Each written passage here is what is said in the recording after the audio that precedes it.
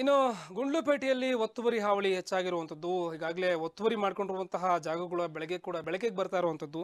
ಹಾಗಾದ್ರೆ ಎಲ್ಲಿ ಒತ್ತುವರಿ ಆಗಿದೆ ಗುಂಡ್ಲುಪೇಟೆಯಲ್ಲಿ? ಎಸ್, ಇದ್ರ ಬಗ್ಗೆ ಒಂದು ಬ್ರೇಕಿಂಗ್ ನ್ಯೂಸ್ ಬರ್ತಾ ಇದೆ. ನೋಡ್ಕೊಂಬನ್ನಿ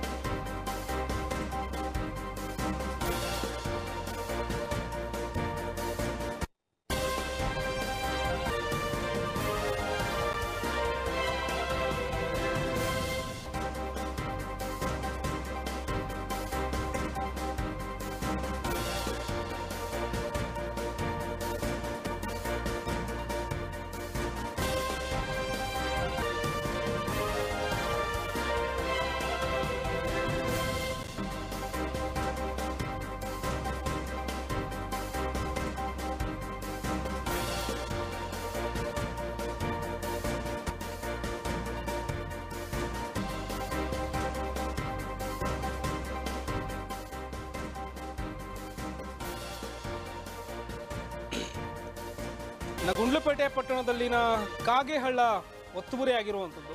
ಇನ್ನು ಪುರಸಭೆಯ ಅನುಮತಿ ಇಲ್ಲದೆ ದೊಡ್ಡ ಶೆಡ್ ಅನ್ನ ನಿರ್ಮಾಣ ಮಾಡಿದ್ದಾರೆ ಕಾಗೆಹಳ್ಳದಲ್ಲಿ. ಪುರಸಭೆ ಕಚೇರಿಯ ಕೂಗಳತೆ ಅಂತರದಲ್ಲಿ ಈ ಒತ್ತುವರಿ ನಡೆದಿದೆ. ಇನ್ನು ಮಳೆ ನೀರು ಹರಿದು ಹೋಗೋ ಕಾಗೆಹಳ್ಳವನ್ನು ಒತ್ತುವರಿ ಮಾಡಿಕೊಂಡಿದೆ. ಇದರ ಪರಿಣಾಮ ಮುಂದಿನ ದಿನಗಳಲ್ಲಿ ಖಂಡಿತವಾಗ್ಲೂ ಕೂಡ ಅಲ್ಲಿನ ಭಾಗದ ಎಲ್ಲರೂ ಕೂಡ ಅನುಭವಿಸಿ ಅನುಭವಿಸ್ತಾರೆ. ಪಟ್ಟಣದ ಕೆ ಟಿ ಸಿ ನಿಲ್ದಾಣದ ಮುಂಭಾಗವಿರುವಂತಹ ಈ ಒಂದು ಕಾಗೆ ಹಳ್ಳ ಹದಿಮೂರನೇ ವಾರ್ಡಿನಲ್ಲಿ, ಪಟ್ಟಣದ ಹದಿಮೂರನೇ ವಾರ್ಡಿನಲ್ಲಿ ಈ ಕಾಗೆಹಳ್ಳ ಇದೆ ಅಲ್ಲಿ. ಮೈಸೂರು ಊಟಿ ಹೆದ್ದಾರಿಯ ಬದಿಯಲ್ಲಿ ದೊಡ್ಡ ಶೆಡ್ ಅನ್ನ ನಿರ್ಮಾಣ ಮಾಡಲಾಗಿದೆ ಈಗಾಗಲೇ.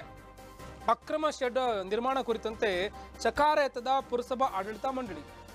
ಅಲ್ಲಿನ ಆಡಳಿತ ಮಂಡಳಿ ಕೂಡ ಗೊತ್ತಿದ್ರು, ನಮಗೇನು ಗೊತ್ತಿಲ್ಲ ಅನ್ನೋ ರೀತಿಯಾಗಿ ವರ್ತಿಸ್ತಾ ವರ್ತಿಸ್ತಾ ಇದ್ದಾರೆ ಅಂತ ಹೇಳಲಾಗ್ತಾ ಇದೆ. ಇನ್ನು ಶೆಡ್ ನಿರ್ಮಾಣ ಸ್ಥಳದ ಮಾಲೀಕರು ಜನರಾಗಿದ್ದಾರೆ ಅವರು ಕೂಡ ಸದ್ಯಕ್ಕಿಲ್ಲ ಖಾತೆ ಬದಲಾವಣೆ ಮಾಡದೆ ಶೆಡ್ ಅನ್ನ ನಿರ್ಮಾಣ ಮಾಡಿದ್ದಾರೆ ಅಂತ ಆರೋಪ ಮಾಡಲಾಗ್ತಾ ಇದೆ. ಇನ್ನು ಒತ್ತುವರಿಯಾಗಿರುವ ಸ್ಥಳದಲ್ಲೇ ಸುಂಕದ ಕಟ್ಟೆ ಇತ್ತು ಅಂತ ಕೂಡ ಈಗಾಗಲೇ ಹೇಳ್ತಾ ಇದ್ದಾರೆ. ಹಾಗಾದ್ರೆ ಸುಂಕದ ಕಟ್ಟೆ ಜಾಗ ಎಲ್ಲೋ ಇತ್ತು. ಎಲ್ಲಿ ಮಾಯ ಆಯಿತು? ಪುರಸಭೆಯಿಂದ ಯಾವುದೇ ಅನುಮತಿ ಇಲ್ಲ. ಕೆಲಸ ನಿಲ್ಲಿಸಲು ಸೂಚನೆ ನೀಡಿದ್ದೇವೆ. ಇನ್ನು ಪುರಸಭಾ ಮುಖ್ಯಾಧಿಕಾರಿ ಹೇಮಂತ್ ರಾಜ್ ಈ ರೀತಿಯಾಗಿ ಹೇಳಿಕೆನ ಕೊಟ್ಟಿದ್ದಾರೆ. ನಾವು ಗಮನಿಸ್ತಾ ಇರ್ತೀವಿ, ಸಾಕಷ್ಟು ಬರೀ ಎಲ್ಲೋ ಒಂದ್ ಕಡೆ ಸರ್ಕಾರಿ ಜಾಗ ಇರುತ್ತೆ, ಅದಕ್ಕೆ ದಾಖಲೆಗಳನ್ನು ಕೂಡ ಅವ್ರು ಮಾಡ್ಕೊಂಡಿರೋದಿಲ್ಲ. ಹಾಗೆ ಏನೋ ಒಂದು ಮಾಡ್ತಾ ಇರ್ತಾರೆ, ಯಾರೋ ಬಂದು ಅಲ್ಲಿನ ಅಧಿಕಾರಿ ವರ್ಗದವರು ಅಥವಾ ಪುರಸಭೆಯ ಅಧಿಕಾರಿ ವರ್ಗದವರು ಯಾರಿರ್ತಾರೆ? ಒಂದು ಶೆಡ್ ನಿರ್ಮಾಣ ಮಾಡೋದು, ಮತ್ತೊಂದು ಏನೋ ಒಂದು ಬೋರ್ಡ್ ಹಾಕೊಳ್ಳೋದು ಅಥವಾ ಅಲ್ಲಿ ಸದ್ಯದ ನಿಧಾನಕ್ಕೆ ಸ್ವಲ್ಪ ಸ್ವಲ್ಪನೇ ಸ್ವಲ್ಪ ಸ್ವಲ್ಪನೇ ಒತ್ತುವರಿ ಮಾಡ್ಕೊಂಬರೋದು ಇವೆಲ್ಲವನ್ನು ಕೂಡ ಮಾಡ್ತಾರೆ. ನೋಡಿ, ಇದೇ ರೀತಿಯಾಗಿ ಅಲ್ಲೂ ಕೂಡ ಒತ್ತುವರಿ ಆಗಿದೆ. ಆದ್ರೂ ಅಧಿಕಾರಿಗಳು ಗೊತ್ತು ಗೊತ್ತಿಲ್ಲದೆ ಇರೋ ಥರ ವರ್ತಿಸ್ತಾ ಇದ್ದಾರೆ. ಇದೆಲ್ಲವನ್ನು ಕೂಡ ಮುಂದಿನ ದಿನಗಳಲ್ಲಿ ಅನುಭವಿಸ್ತಾರೆ.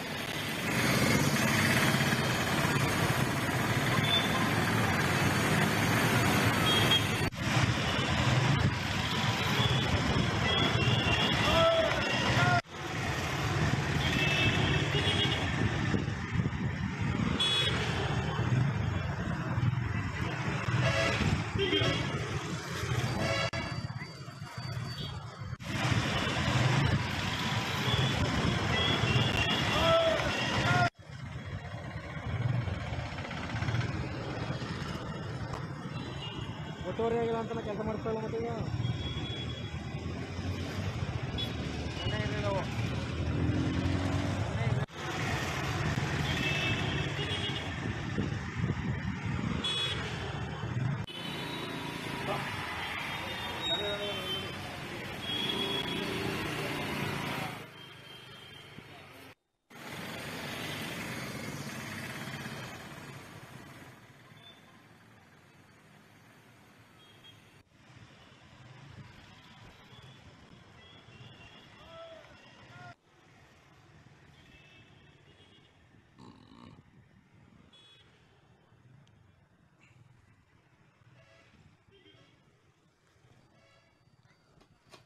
ಎಸ್ ಇದ್ರ ಬಗ್ಗೆ ಮಾತನಾಡಲಿಕ್ಕೆ ಅಲ್ಲಿನ ರೈತರು ಸಂಪತ್ ಅವರು ದೂರವಾಣಿ ಸಂಪರ್ಕದಲ್ಲಿದ್ದಾರೆ. ಸರ್ ನಮಸ್ತೆ. ನಮಸ್ಕಾರ ಸರ್. ಸರ್ ಹಾಗಾದ್ರೆ ಈ ಒತ್ತುವರಿ ಆಗಿರೋ ವಿಚಾರ ಯಾವಾಗ ಬೆಳಕಿಗೆ ಬಂತು ಸರ್ ನಿಮ್ಗೆಲ್ಲ? ಸರ್ ನಮ್ಗೆ ಈಗ ನಾವು ಹಣ್ಣಿಂದು ಅದೇ ಇದನ್ನ ಹೇಳ್ತಾ ಇದೀವಿ ಇಲ್ಲಿರೋಂತ ಅಧಿಕಾರಿಗಳು ತಾಸಿ ಕಂದಾಯ ಇಲಾಖೆಯವರು ಯಾವ್ದಕ್ಕೂ ಸ್ಪಂದಿಸ್ತಾ ಇಲ್ಲ. ಚೆನ್ನಮಲ್ಗೆ ಹೂನ್ ಕ್ಯಾ ಇದ್ರ ವಿಚಾರವಾಗ್ಲಿಂದು ಬರ್ತಾ ಇದೀವಿ ಸರ್ ನಾವು ಅದನ್ನ ಕೆಲವು ಒತ್ತುವರಿಗಳು ಈ ತಾಲೂಕಲ್ಲಿ ಒತ್ತುವರಿಗಳಿವೆ ಕೆರೆ ಒತ್ತುವರಿಗಳಿವೆ ಎಲ್ಲಾನು ಬಿಡುಗಡೆ ಮಾಡಿ ರಾಜಕಾಲುವೆಗಳನ್ನ ಬಿಡುಗಡೆ ಮಾಡಿಸ್ಕೊಡಿ ಅಂತ ಕೇಳ್ತಿದೀವಿ ಯಾವತ್ತು ಸ್ಪಂದಿಸ್ತಾ ಇಲ್ಲ ಅಧಿಕಾರಿಗಳು ಕಂದಾಯ ಇಲಾಖೆ. ಈಗ ಜಿಲ್ಲಾಧಿಕಾರಿ ನಡೆ ಹಳ್ಳಿ ಕಡೆ ಅಂತಾರೆ ಅಲ್ಲಿ ಬಂದ್ರೆ ಮಾತು ಮಾತು ನಾಲ್ಕ್ ಮಾತು ಅಷ್ಟೇ. ಅವ್ರು ಹೋಯ್ತಿರ್ತಾರೆ ಬರ್ತಿರ್ತಾರೆ. ಕಾಟಾಚಾರಕ್ ಮಾಡ್ತಾ ಇದೆ ಸರ್ಕಾರ. ಸರ್ ಕಾಟಾಚಾರಕ್ ಮಾಡ್ತಿದೆ ಅಲ್ಲಿ ಜಿಲ್ಲಾಧಿಕಾರಿ ನಡೆ ಹಳ್ಳಿ ಕಡೆ. ತಹಸೀಲ್ದಾರ್ ಬರ್ತಾರೆ. ಅವ್ರ ಪವರ್ ಯಾರ್ದು? ಜಿಲ್ಲಾಧಿಕಾರಿ ಪವರ್ ತಹಸೀಲ್ದಾರ್ ಹ್ಮ್ ಹ್ಮ್ ಹ್ಮ್ ಎಲ್ಲಿ ಒತ್ತುವರಿ ಬಿಡಿಸ್ತಾರೆ ಅವರು? ಆದ್ರಿಂದ ಕೆಲವು ನಿಯಮಗಳು ಸರ್ಕಾರ ಬಹಳ ಬಾಯಿ ಮಾತು ಹೇಳ್ತಾ ಇದೆ ಅಷ್ಟೇ. ಚಪಲ ಚಪಲ. ಚೆನ್ನಗಿರಾಯಪಟ್ಟಣ ಈಗ ಏನಂದ್ರೆ ಈಗ ನೋಡಿ ಒಂದ್ ಒಂದ್ ಒಂದು ವಿಚಾರ ನಾವು ಗಮನಿಸ್ಬೇಕು ಅಂತಂದ್ರೆ ಪ್ರತಿ ಗ್ರಾಮಕ್ಕೂ ಅಥವಾ ಪ್ರತಿ ಒಂದು ಜಿಲ್ಲೆಗೂ ಅಲ್ಲೇ ಆದಂತಹ ಗ್ರಾಮ ಪಂಚಾಯತಿನೋ ಅಥವಾ ಅಲ್ಲೊತ್ತ ಜಿಲ್ಲಾಡಳಿತನೋ ಯಾವ್ದೋ ಒಂದು ಇರುತ್ತೆ ಅಲ್ವಾ? ಹೌದು. ಎಲ್ಲವನ್ನು ಕೂಡ ಸರ್ಕಾರದವರೇ ನೋಡ್ಲಿಕ್ಕೆ ಸಾಧ್ಯ ಆಗಲ್ಲ. ಅಲ್ಲಿನ ಅಧಿಕಾರಿಗಳು ಕೂಡ ಇದಕ್ಕೆ ನೇರ ಹೊಣೆ ಆಗ್ತಾರೆ. ನೇರ ಹೊಣೆ ಅಲ್ಲಿಂದ ಮುಖಂಡರ ಮೇಲೆ ಪ್ರಭಾವ ಬೀರುತ್ತಾರೆ ಸರ್. ಬೇರೆ ಕಡೆಯಿಂದ ಯಾರ ರಾಜಕೀಯ ಕುತಂತ್ರದಿಂದ ಪ್ರಭಾವಗಳನ್ನ ಬೀರುತ್ತಾರೆ ಅಧಿಕಾರಿಗಳ ಮೇಲೆ. ಇಲ್ಲ ಸಲ್ಲದ ಆರೋಪ ಮಾಡ್ತಾರೆ ಎತ್ತುಗಡಿ ಕರ್ತಾರೆ ಈಗ ಅದೇ ರೀತಿಯಾಗಿ ಏನಾದ್ರು ಮತ್ತೆ ಹಳ್ಳ ಕೊಳ್ಳಗಳನ್ನ ಇದೇ ರೀತಿ ಮುಚ್ಕೊಂಡು ಹೋಗ್ತಾ ಇದ್ರೆ ನಾಳೆ ದಿನ ಮಳೆ ಬಂದಾಗ ಈಗ ನಾವು ಗಮನಿಸ್ತೀವಿ ಸರ್ ಮಳೆ ಬಂತು ಈಗ ಎಲ್ಲಾ ರಾಜ್ಯದಲ್ಲೂ ಈ ತರ ರಾಜಕಾಲುವೆಗಳನ್ನ ಮುಚ್ಚಿ ಹಳ್ಳಗಳನ್ನೆಲ್ಲ ಇದ್ ಮಾಡಿ ಹೋಗಂತ ದಾರಿನೆಲ್ಲ ಮುಚ್ಚಿ ಜಮೀನ್ಗಳ ಮೇಲೆ ಹೋಗಿ ನಷ್ಟ ಎಲ್ಲ ಅನುಭವಿಸ್ತಾ ಇದಾರೆ ಇವತ್ತು. ಹೌದೌದು. ಇದೆಲ್ಲ ಯಾರೋ ಮಾಡೋ ಊಟನ ಯಾರೋ ಮಾಡ್ಕೋತಾವ್ರೆ ಇವತ್ತು. ನಿಜ ಮುಂದಿನ ದಿನಗಳಲ್ಲಿ ನೋಡಿ ಇನ್ನು ಬಾರಿ ಭಾರಿ ಬೇರೆ ರೀತಿ ಎಫೆಕ್ಟ್ ಆಗುತ್ತಿದ್ದೆಲ್ಲ. ಸತ್ಯ ಸರ್ ಸತ್ಯ. ಈಗ ಅಲ್ಲಿನ ಸ್ಥಳೀಯರು ಅಥವಾ ಬೇರೆ ವಿರೋಧ ಪಕ್ಷದವರು ಯಾರು ಕೂಡ ಇದ್ರ ಬಗ್ಗೆ ಪ್ರತಿಭಟನೆ ಮಾಡ್ಲಿಲ್ವಾ? ವಿರೋಧವಂತ ಮಾಡುವಂತ ಕೆಲಸ ಈ ತಾಲೂಕಲ್ಲಿ ರೈತ ಸಂಘ ಒಂದ್ ಬಿಟ್ರೆ ಯಾರು ಕೇಳ್ತಾ ಇಲ್ಲ ಸರ್. ರೈತ ಸಂಘ ಒಂದು ಎಲ್ಲ ಇವತ್ತು ನೋಡಿ ಒಂದು ಅರಣ್ಯ ಇಲಾಖೆ ಒಂದು ಯಾವ್ದೋ ತೇಗಿನ ಮರದ ವಿಚಾರವಾಗಿ ಅವ್ರ ಕಟಿಂಗ್ ಆರ್ಡರ್ ಕೊಡದೇ ಎ ಸಿ ಎಫ್ ಇಲ್ಲಿ ಇದಾಗಿದ್ದಾನೆ. ಇಲ್ಲಿ ನೋಡಿ ನಾವು ಕೂತಿದೀವಿ ಅವ್ರೆಲ್ಲ ಮೈಸೂರ್ಗ ನಗರದಿಂದ ಮೈಸೂರ್ಗೆ ವರ್ಗಾವಣೆ ಮಾಡಿದ್ರಂತೆ. ಪಾಪ ಅವನು ಸಾವು ಬದುಕವನೆ ಎ ಸಿ ಎಫ್ ಇಲ್ಲ. ಇವತ್ತು ಆತ್ಮಹತ್ಯೆ ಮಾಡ್ಕೊಂಡಾನೆ. ಹ್ಮ್ ಇವರೇ ಕುಡ್ಕ ಹೋಗಿ ಸತ್ತೋಗು ಅಂದ್ರಂತೆ ಕುಡ್ದೇ ಬಿಟ್ಟ ತಂದು. ಎರಡ್ ದಿನ ಅಂತಲೇ ಇವತ್ತು ಹೋಗ್ಬೇಕು ನಿನ್ನೆ ಓಕೆ. ಸತ್ತೋಗ್ಬಿಟ್ಟು ಸತ್ತೋಗಕ್ಕೆ ಇವತ್ತು ಇದಾಗ್ಬಿಟ್ಟು ನಿನ್ನೆಯಿಂದ ಸಾವು ಬಾಳಿ ಓಡಾಡ್ತಾನೆ ರೈತ. ಓಕೆ ಈ ರೈತ ಸಂಘದವ್ರು ಇಲ್ಲಿ ಬಂದು ಕೂತಿದೀವಿ. ಯಾರು ಇಲ್ಲ ಅಧಿಕಾರಿಗಳಲ್ಲಿ. ಓಕೆ ಓಕೆ ಎಸ್ ಧನ್ಯವಾದ ಮಾತನಾಡಿದ್ದಕ್ಕೆ ಧನ್ಯವಾದ ಮಾತನಾಡಿದ್ದಕ್ಕೆ ಸಂಪತ್ ಅವರೇ. ಎಸ್ ಅದೇ ನೋಡಿ ಹೇಳೋರು ಕೇಳೋರು ಯಾರು ಇಲ್ಲ ಪ್ರಶ್ನೆ ಮಾಡೋರು ಯಾರು ಇಲ್ಲ ಅಂತಂದಾಗ ಈ ರೀತಿ ಸಮಸ್ಯೆಗಳು ಉದ್ಭವ ಆಗೇ ಆಗುತ್ತೆ. ಇದೆಲ್ಲದಕ್ಕೂ ಕೂಡ ಯಾರ್ಯಾರು ಇವತ್ತು ಕಣ್ಣು ಮುಚ್ಕೊಂಡು ನೋಡಿದ್ರು ನೋಡದೇ ಇರೋ ಥರ ಸುಮ್ಮನೆ ಹೋಗ್ತಿರ್ತೀರಲ್ಲ? ಎಲ್ಲರೂ ಕೂಡ ಹೊಣೆಗಾರರಾಗ್ತೀರಾ?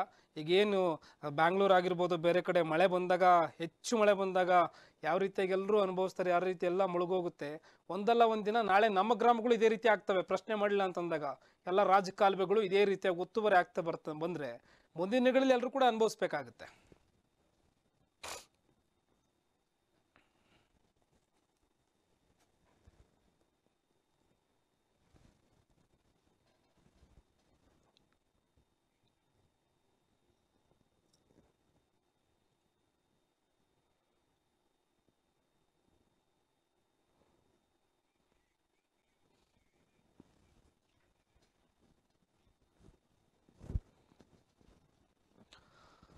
ಅನೇ ಇದ್ರ ಬಗ್ಗೆ ನಮ್ಮ ಜೊತೆ ಮಾತನಾಡಲಿಕ್ಕೆ ಪುರಸಭಾ ಸಿಇಒ ಗುಂಡ್ಲುಪೇಟೆಯ ಹೇಮಂತ್ ರಾಜ್ ಅವರು ದೂರವಾಣಿ ಸಂಪರ್ಕದಲ್ಲಿದ್ದಾರೆ ಸರ್ ನಮಸ್ತೆ.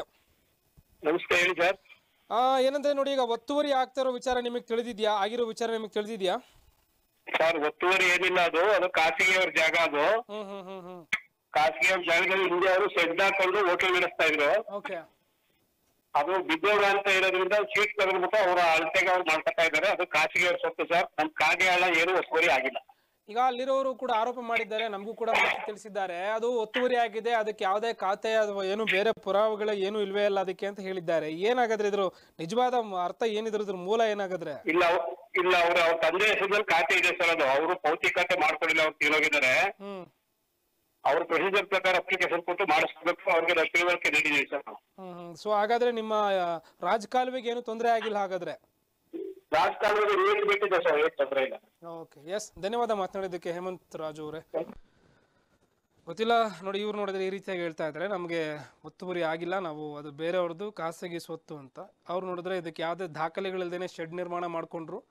ಅದಕ್ಕೆ ಅದ್ರ ಜೊತೆಗೆ ಇನ್ನೊಂದು ಕೂಡ ಸುಂಕದ ಕಟ್ಟೆ ಇತ್ತು, ಅದೆಲ್ಲ ಹೋಯ್ತು ಹಾಗಾದ್ರೆ? ಸುಂಕದ ಕಟ್ಟೆ ಯಾವ ಕಡೆ ಹೋಯ್ತು? ಎಲ್ಲಿ ಮಾಯ ಆಯಿತು ಅಂತ ಕೇಳ್ತಿದ್ದಾರೆ. ಹೀಗೆ ಪ್ರಶ್ನೆ ಮಾಡಿಲ್ಲ ಅಂತಂದ್ರೆ ನಾಳೆ ದಿನ ನಿಮ್ಮ ಮನೆ ಮುಂದೆ ಇರುವಂತಹ ಓಡಾಡ್ಲಿಕ್ಕಿರುವಂಥ ಜಾಗನೂ ಕೂಡ ಇನ್ಯಾರ್ದೋ ಒಂದು ಆಗಿರುತ್ತೆ. ಅದು ಸರ್ಕಾರದ ಜಾಗ ಅಲ್ಲ ಬೇರೆಯವ್ರದ್ದು ಅಂತ. ನೋಡಬೇಕು, ಇದೆಲ್ಲ ಮುಂದಿನ ದಿನಗಳಲ್ಲಿ ಯಾವ ರೀತಿಯಾಗಿ ತಿರುವುಗಳು ಪಡ್ಕೊಳ್ತೇವೆ ಅಂತ.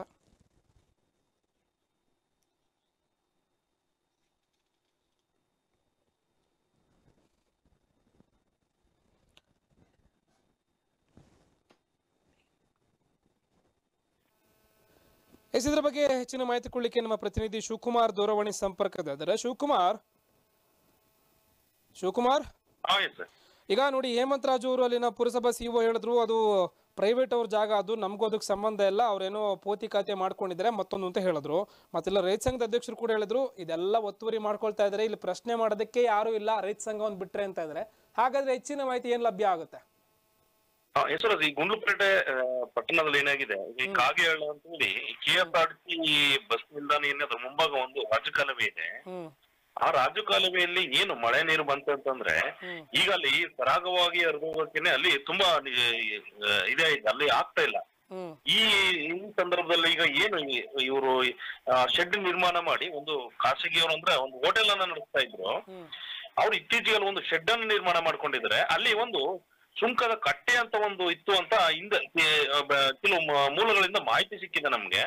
ಈ ಬಗ್ಗೆ ಕುರಿತು ಅವ್ರನ್ನ ಕೇಳಿದಾಗ ಅದು ನಮ್ಮ ಗಮನಕ್ಕೆ ಬಂದಿಲ್ಲ. ಅಲ್ಲಿ ಪೌತಿಕತೆ ಆಗ್ಬೇಕಾಗಿತ್ತು. ಅವರು ಪೌತಿಕತೆ ಮಾಡ್ಕೊಳ್ಳದೇನೆ ಅವರು ಶೆಡ್ ನಿರ್ಮಾಣ ಮಾಡಿರೋದ್ರಿಂದ ನಾವೊಂದು ಕೆಲಸನ ಸ್ಟಾಪ್ ಮಾಡಕ್ ಹೇಳಿದೀವಿ ಅಂತ ಹೇಳ್ತಾರೆ. ಆದ್ರೆ ಅವರು ಖಾಸಗಿಯವರ ಒಡೆತನದಲ್ಲಿದ್ರೆ ಅವರು ಕೆಲಸವನ್ನ ಸ್ಟಾಪ್ ಮಾಡಿ ಅಂತ ಹೇಳಲಿಕ್ಕೆ ಆಗೋದೇ ಇಲ್ಲ. ಇದು ಪುರಸಭೆ ಮುಖ್ಯಾಧಿಕಾರಿ ಮುಖ್ಯಾಧಿಕಾರಿ ಹೇಮಂತ್ ರಾಜ್ ಅವರು ಯಾಕೆ ಈ ರೀತಿ ಹೇಳ್ತಾ ಇದಾರೆ ಅಂತ ಗೊತ್ತಾಗ್ತಾ ಇಲ್ಲ ಯಶ್ರಾಜ್. ಹ್ಮ್ ಹ್ಮ್ ಹ್ಮ್. ಅಲ್ಲ ಈಗ ನೋಡಿ ಅವ್ರು ಹೇಳ್ತಾ ಇರೋದು ಇಲ್ಲ ನಮ್ಮ ರಾಜಕಾಲುವೆ ಒತ್ತುವರಿ ಆಗಿಲ್ಲ ಏನಿಲ್ಲ ರಾಜಕಾಲುವೆಗೆ ಏನೂ ಡ್ಯಾಮೇಜ್ ಆಗಿಲ್ಲ. ಇದು ಬೇರೆಯವ್ರದ್ದು ಅಂತ ಹೇಳ್ತಾ ಇದ್ದಾರೆ ಹಾಗಾದ್ರೆ. ಈಗ ರೈತ ಸಂಘದವ್ರದ ಮಾತು ನಂಬೇಕಾ ಅಥವಾ ಅಲ್ಲಿನ ಅಧಿಕಾರಿಗಳ ಮಾತು ನಂಬೇಕಾ ಏನ್ ಮಾಡ್ಬೇಕು ಈಗ ಹಾಗಾದ್ರೆ? ಈಗ ತಾಲೂಕಿನಲ್ಲಿ ನೋಡಿ ಈಗ ಇನ್ನೇನು ಚುನಾವಣೆ ಹತ್ರ ಬರ್ತಾ ಇದೆ. ಆದ್ರೆ ಈಗ ಏನು ಘಟನೆಗಳು ನಡೀತಾ ಈಗ ಒತ್ತುವರಿಗಳಿರ್ಬೋದು ಕೆಲವೊಂದು ಏನು ಆ ಭ್ರಷ್ಟಾಚಾರ ನಡೆದ ಈಗ ರೈತರಿಗೆ ತೊಂದರೆ ಆದಾಗ ಪ್ರತಿಭಟನೆ ನಡುವ ನಡ್ಸೋಕೆ ಬರೋದು ಅಂತ ಇದ್ರೆ ಅದೊಂದು ರೈತ ಸಂಘ ಮಾತ್ರ ಗುಂಡ್ಲುಪೇಟೆಯಲ್ಲಿ ಸಕ್ರಿಯವಾಗಿ ಒಂದು ಕೆಲಸವನ್ನ ಮಾಡ್ತಾ ಇದೆ. ಇವತ್ತು ಸಹ ಏನು ಈ ಕಾಗೆಲ್ಲ ಈ ಪಟ್ಟಣದ ಹದಿಮೂರನೇ ವಾರ್ಡ್ಗೆ ಬರುವಂತ ಈ ಕಾಗೆಗಳ ಅವ್ರು ಒತ್ತುವರಿ ಈಗ ಹಿಂಬದಿಯಿಂದ ಮಾಡ್ಕೊಂಡು ಬರ್ತಾ ಇದ್ರೆ ಅದು ಕಾಲಕ್ರಮೇಣ ಅದು ಇನ್ನು ಮುಂದುವರೆದ್ರೆ ಅಲ್ಲಿ ಏನು ಮಳೆ ನೀರು ಬಂತಂದ್ರೆ ಮನೆ ಏನ್ ಏನಿದೆ ವಾಸದ ಮನೆಗಳ ಕಡೆ ನುಗ್ಗ ಚಾನ್ಸಸ್ ಇರುತ್ತೆ ಅಂತ ರೈತ ಸಂಘದವರು ಆರೋಪ ಮಾಡ್ತಾ ಇದ್ದಾರೆ. ಎಸ್ ಧನ್ಯವಾದ ತಮ್ಮೆಲ್ಲ ಮಾಹಿತಿಗಾಗಿ ಶಿವಕುಮಾರ್. ಗೊತ್ತಿಲ್ಲ ನೋಡಿ, ಎಲ್ರಿಗೂ ಒಂದು, ಒಂದಲ್ಲ ಒಂದು ಕನ್ಫ್ಯೂಷನ್ ಇರುತ್ತೆ. ಆ್ಯಂಡ್ ಈ ಥರ ಕೆಲಸಗಳನ್ನ ಮಾಡಬೇಕಾದ್ರೆ ಅವರು ಕೂಡ ಯೋಚನೆ ಮಾಡ್ತಾರೆ. ಇದು ನಾಳೆ ದಿನ ಯಾರಾದರೂ ಪ್ರಶ್ನೆ ಮಾಡ್ತಾರಾ? ಪ್ರಶ್ನೆ ಮಾಡಿದ್ರು ನಾವು ಅದನ್ನು ಡಿಪೆಂಡ್ ಮಾಡ್ಕೊಬೋದಾ? ಇವೆಲ್ಲವೂ ಇರುತ್ತೆ. ಎಷ್ಟಿಲ್ದೇ ಆ ಜಾಗದಲ್ಲಿ ಕುಳಿತು ಆ ರೀತಿ ಕೆಲಸ ಮಾಡೋಕ್ಕೆ ಸಾಧ್ಯನ? ಅಥವಾ ನಿಜವಾಗ್ಲೂ ಆ ಥರ ಏನೂ ಆಗಿಲ್ಲ ಅಂತ ನಿಜಕ್ಕೂ ಕೂಡ ಭಾಳ ಖುಷಿ ಪಡುವಂಥ ಒಂದು ವಿಚಾರ ಆಗುತ್ತೆ. ಯಾಕಂದರೆ ನಾವು ಸುದ್ದಿ ಮಾಡೋದು ಅಥವಾ ನಾವು ಈ ರೀತಿಯಾಗಿ ಎಚ್ಚರಿಸೋದು ಕೂಡ ಅಲ್ಲಿನ ಸ್ಥಳೀಯರಿಗೆ ಅಥವಾ ನಮ್ಮ ನಮ್ಮ ನಗರಗಳಲ್ಲಿ ಅಥವಾ ನಿಮ್ಮ ನಗರಗಳಲ್ಲಿ ನಿಮಗೆ ಯಾರಿಗೂ ತೊಂದರೆ ಆಗ್ಬಾರ್ದು ಅನ್ನೋ ಕಾರಣಕ್ಕೋಸ್ಕರ ನಾವು ಸುದ್ದಿ ಮಾಡುವಂಥದ್ದು. ನಿಮಗೆ ತೊಂದರೆ ಆಗದೆ ಇರಲಿ ಅನ್ನೋ ಕಾರಣಕ್ಕೋಸ್ಕರನೇ ಈ ಥರ ಸಮಸ್ಯೆಗಳಿದ್ದಾಗ ನಾವು ಕೂಡ ನಿಮ್ಗೆ ಎಚ್ಚರ ವಹಿಸುವಂಥದ್ದು